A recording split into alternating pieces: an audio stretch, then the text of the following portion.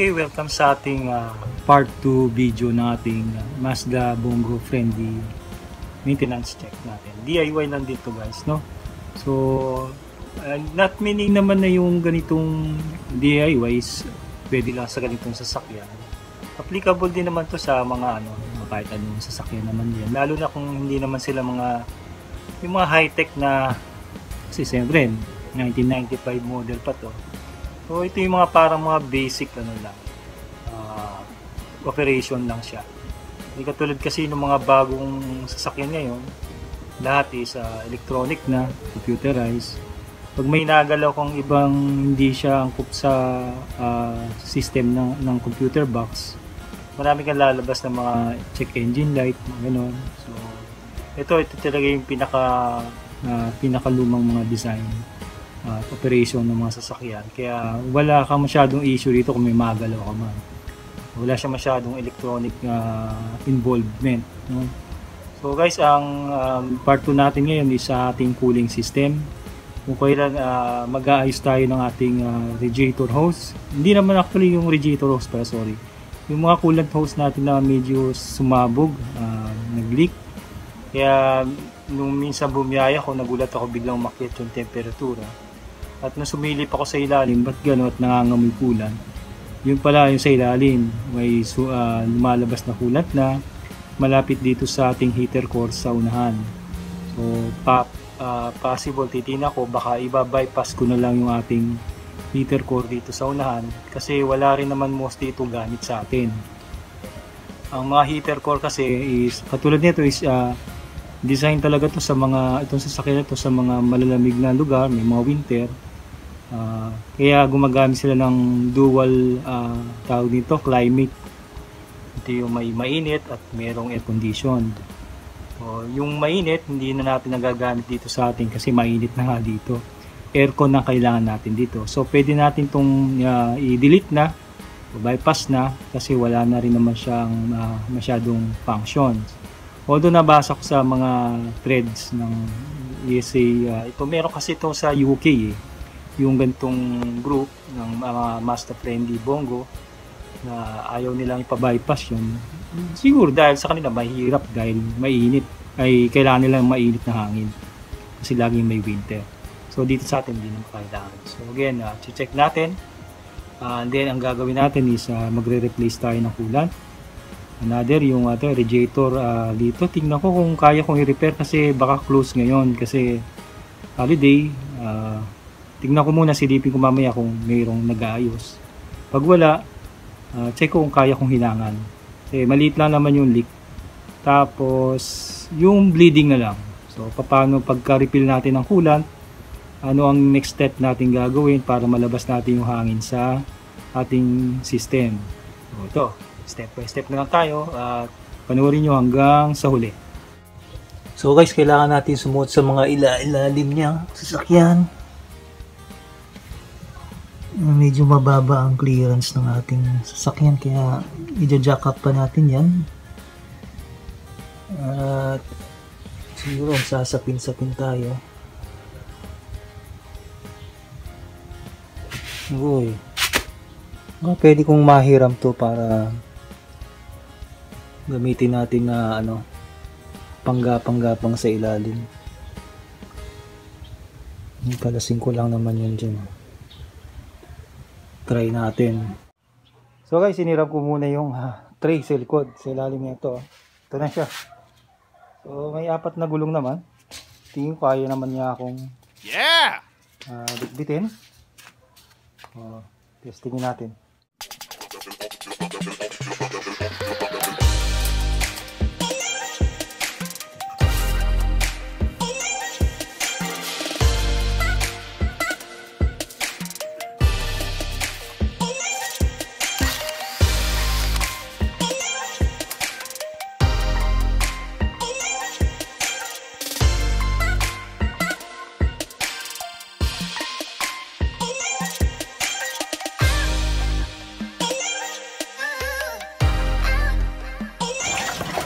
Yan habang tumutulo siya doon, pwede natin buksan to para mas lumakas.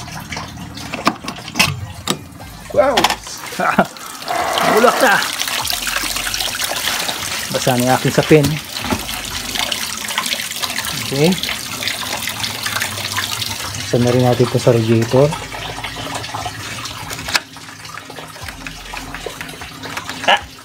Come on. Oops! Nahulog niya. So, pansin nyo guys, may mga green green siya na ano, no? So, indication niya na may ah, vent na lumalabas, may, may leak tayo. Dito rin, may green siya. Yan. So, may sumisingaw. So, possible yung ano lang yan, ah, maluwag lang yung mga clamps. Ah, medyo luma na rin kasi itong hose natin, pero wala tayong pump replace dyan eh. Try nating dagdagan na lang ng clamp siguro dito. Then, kung possible, maglagay tayo ng RTB silicone bago natin ilagay yung hose. Then, bago natin i-clamp para mas uh, uh, ma-avoid natin yung leaks. Then, ito yung sa radiator cap. Ito naman is wala naman actually dapat gamit talaga to. Ito may crack na nga. Oh. Possible dito yan. Pero anyway, kung dito naman tatama yung ano, magsisil naman pala dito yon Baka hindi naman kailangan pa dyan. Or cup natin, dito naman siya magsisil eh. Silicone, okay naman yung condition ng cup natin. Ah, check ko na lang. Kailangan gumamit ng eye protection, no? Hindi ako nagdala. So, ito is medyo malabo na. So, malabo na rin kasi. So, magsasalamin ako.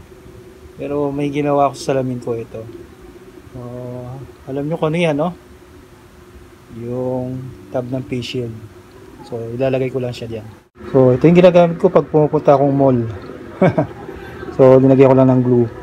Hot glue. Pwede man tanggalin yan pagka, ano na.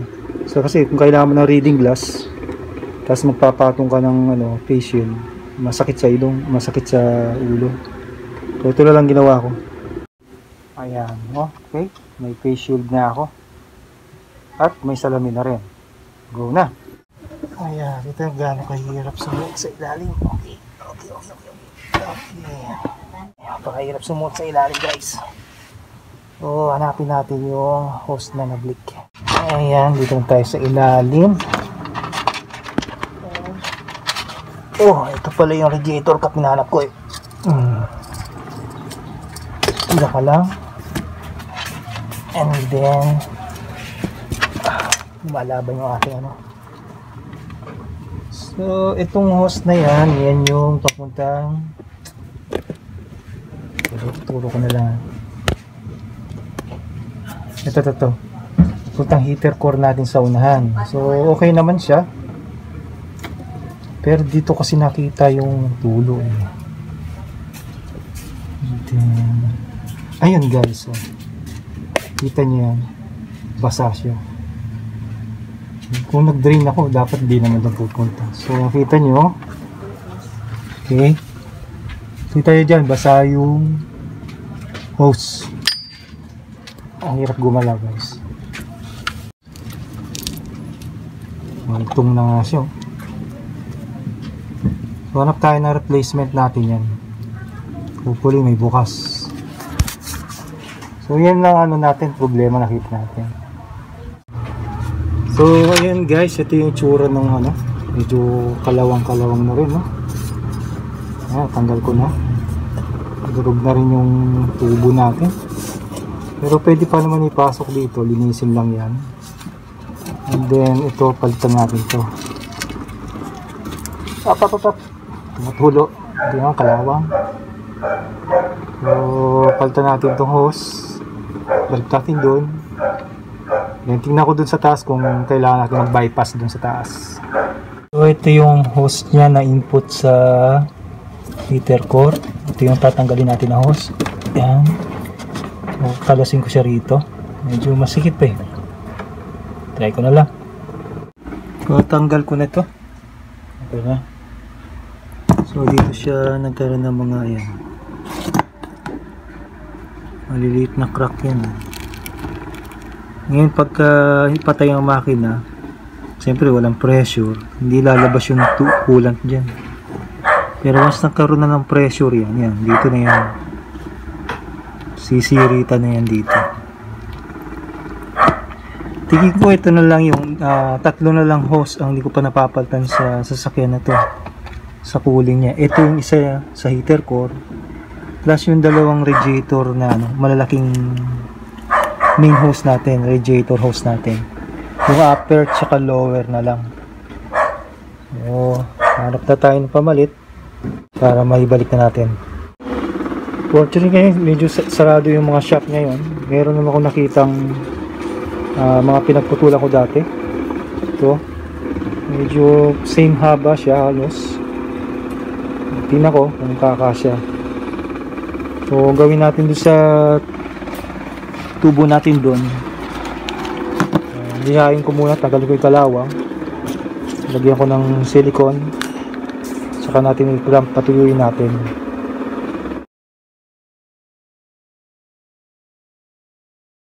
So, to guys, tinanggal ko na yung mga heater core hose natin. Ito, tsaka yung pangalawa. Oh, wala na yan. Ano pala yun? Plastic lang yan kasi. At napansin ko, nababali na rin unti-unti. So, magiging uh, another, another ano na naman to issue, katagalan. So, ang gagawin talaga natin is iba-bypass na natin yan. Cut, wala na yan. So, itong hose na to, yan. Ah, dapat akit muna siya dun sa isang port ng heater core eh, bago lalabas dito at pupunta rito. Ngayon ito mangyayari, didiretso na lang siya dito. So itong hose na to, bebend ko na lang siya diretso na siya rito. So nilagyan ko na ng RTB para ma-secure yung kapit niya. Diretso na siya dito. So guys, habang inaantay natin matuyo yung ating mga hose. And then, nilinis din natin ating expansion tank. Pwede ko nang ibalik yung ating ah, radiator hose dito. So guys, sa coolant naman tayo. Ang gamit ko is ah, Petron Super Coolant. So, Petron. Alam na. Baka naman. So, ito gamit natin. Ah. 130 lang ang isa nito. Depende sa mga lugar nyo. Minsan iba ibang presyo. So 130, uh, i-dilute nyo ito. Concentrate kasi ito eh. I-dilute nyo ito sa 1.5 liter na tubig. 1.5 liters ba o liter? Liters. Okay. So ito yung sakto niyan. Isang puno nito at isang ganito. So bali meron kang 2 liters in total sa bawat isang ganito. So 130, mura na yun. So yun lang yung pandidilute natin is wag ordinary tubig. So dapat distilled water. Yan, SM bonus. SM, baka naman. Hindi naman. Ah, so 10 liters bumili ako. Ah, sapat na 'yan sa ating seb, seb pitong super coolant, no? So at the same time, ah, total 'yan parang almost 13 liters na 'yan. Ah, pwede na 'yan. Ah, maka mapupuno na natin yung radiator tsaka yung buong cooling system ng ating ah, sasakyan. So, ganun lang 'yon. So, i-mix ko lang to and then pwede na tayong mag ah, lagay ng kulang sa sasakyan.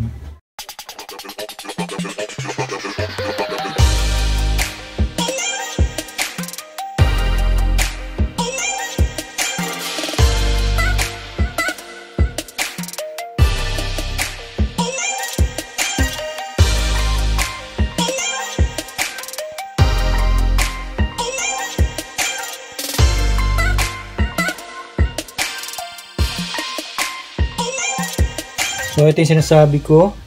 So meron na tayo. Nilagyan natin ng dinoble clamp ko na rin yan. Dalawang hose clamp. Then na RTV. And then yung ito. Nakikita yung sa ilaw. So from galing sa ilalim, buwan malapit na siya, diretso na siya dito. Instead na dapat dadaan muna doon sa mga heater core na yon. Wala na, tinanggal na natin yon. Hindi itong expansion tank natin, madilaw na. So kung meron na nakakaalam pa paano mag-restore niyan, comment na lang po para ma next na video natin, pwede natin gawin yon. Although may naman napanood ako sa YouTube, ginamit nila is either muriatic acid, iba naman is uh, uh, suka, vinegar, saka baking soda para magkaroon ng uh, tawag ito, effect. So, try natin yun sa susunod. Madali lang naman yun kasi uh, hindi mo na, uh, pag tinanggal mo naman to hindi mo na kailangan ng bleeding kasi hindi ka naman nagtanggal ng, hang, ng tubig sa ilalim. So, dito, basically, tanggalan na dito. Then, plug lang natin yan para hindi lumabas yung tubig. And matatanggal natin to. Pagka i-refill lang, babalik mo lang naman yung tubig ulit dito or coolant. So, and then, uh, baka may nakakapansin, ba't merong buti ng Gatorade dyan. No? So, hindi naman pang rehydration yan, guys, no? Uh, from here, galing dito sa expansion tank cap, pagka overpressurize siya, lalabas yan dito. Babalik pupunta dun sa ating, uh, instead na matatapon nga yan, so, inano ko, nilagyan ko ng pansalo. Uh, hindi lang naman yan porque gusto ko lang, uh, ayoko lang matapon yung coolant uh, ano ko yan, uh, monitoring ko yan kung nagtatapon ba ng coolant yung ating sasakyan. Nag-overpressurize ba tayo? Pagka overpressurize tayo, ibig sabihin meron po tayong problema either sa head gasket o kaya meron po tayong uh, air pockets o may hangin tayo sa system. Kaya tayo nagkaka-overpressurize. Ganun po yon no? So, hindi naman yan, ano yan, pang rehydrate, no? So, yun lang yung purpose lang po nun para may monitoring ako. So, next, maglagay na tayo ng coolant natin. So guys, dito nag-end yung uh, part 2A ng ating video. So today, nakapaglagay tayo ng, I mean, na uh, ayos natin yung ating uh, coolant hose na replace na natin yon At the same time, uh, binaypass na natin yung ating heater core kasi nga, medyo parang magiging kosta ng ano yun, uh, later issue. Kasi plastic lang yung dulo pala nun. So, magka-crack at magka-crack na rin siya. So, another is, uh, nag-mix na rin ako ng ating coolant. So, why yung sa akin yung pinili kong coolant is yung sa Petron is yung pinaka-simple na uh, components kasi yun eh. So, yun lang pinaka I mean basic na ingredients para sa ating coolant which is yung glycol. Uh, hindi natin kailangan, hindi ko naman sinasabi na uh, huwag niyong bilhin yon pero yung may mga coolant kasi na merong antifreeze, no? So medyo malapot-lapot siya. Uh, hindi natin kailangan ng ganun kasi dito sa atin kasi hindi naman nagyeyedo. Yun doon lang purpose ng antifreeze, no? Para pag uh, winter yung area nyo, pag uh, gising yung sumaga, mag-start kayo sa sasakyan, ayaw mag-start kasi nagyayelo lahat yung mga tubig na yon. So doon lang ang purpose ng antifreeze na yon. So dito sa atin, hindi masyadong kailangan yon. So regular glycol, okay na yon. Kaya yun ang mostly ginagamit ko lang. So uh, abangan nyo na po yung ating part 2 which is yung maglalagay na tayo ng coolant at ang pagbi-bleed po ng ating sasakyan. So guys, uh, please paki-like yung ano, uh, i-thumbs up nyo yung ating video. The same time, huwag nyo pong kakalimutan mag, ano, mag-subscribe para uh, tuloy-tuloy yung ating pag-upload. The same time, i-click nyo rin yung notification bell para po uh, yung uh, pag nag-upload ako ng bagong video, meron kayong kagad mapapanood. Hindi nyo kailangan mag-search, no? Another thing is, uh, huwag pong kakalimutan mag-iwan ng comment. Okay, sabi nga, good or bad comment man yan, good po sa ating mga YouTuber yan. So guys, uh, see you on my next video. Again, thank you for watching.